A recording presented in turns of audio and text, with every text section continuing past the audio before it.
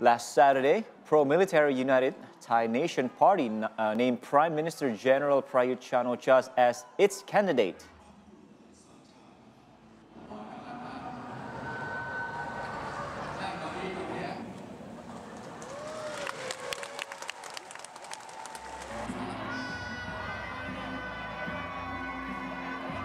Exiled Thaksin Shinawatra's youngest daughter, Patong Tarn Shinawatra addressed supporters of the Pheu Thai party during an election campaign in Bangkok, Thailand.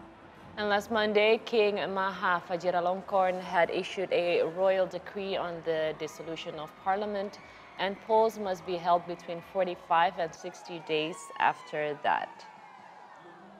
Now, as said before, Prayut Chan-o-cha will likely face the Pheu Thai party's Paetongtarn uh, Shinawatra, daughter and niece of two former prime ministers from the billionaire family.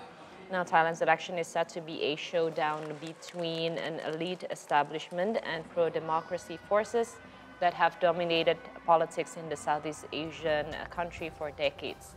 Now, Prayut's um, path back to the top looks uh, challenging, and opinion polls put him far behind Shinawatra, as well as a candidate from a progressive party. Now, populist parties linked to Thaksin have also won the most seats in every election since 2001.